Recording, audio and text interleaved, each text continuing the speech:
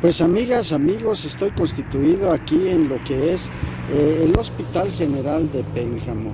Y pues ustedes lo pueden observar, inclusive por allí una unidad eh, de una empresa funeraria, en este caso Funerales Guevara, y pues observamos a su personal pues debidamente protegido, eh, con, con inclusive este, pues la vestimenta adecuada eh, pues a efecto de, protegerse eh, la situación de un posible contagio.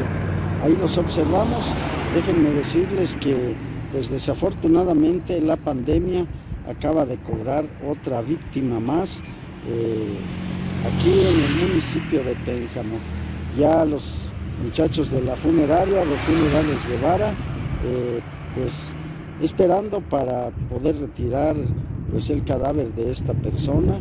Eh, vuelvo a reiterarlo, la pandemia, amigas, amigos, sigue cobrando vidas aquí en el municipio de Pénjamo y pues a raíz de esto inclusive se han extremado eh, las medidas de, acceso a lo que es el Hospital General de Pénjamo.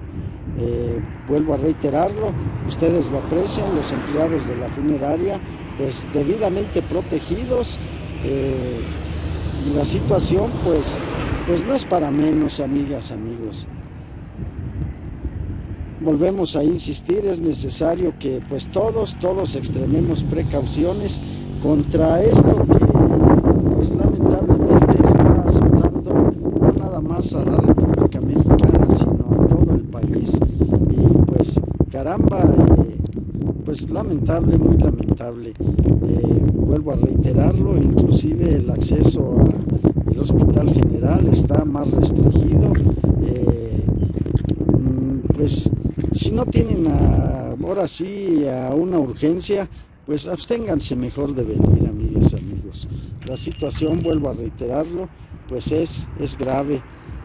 Pues así las cosas. Extremen precauciones.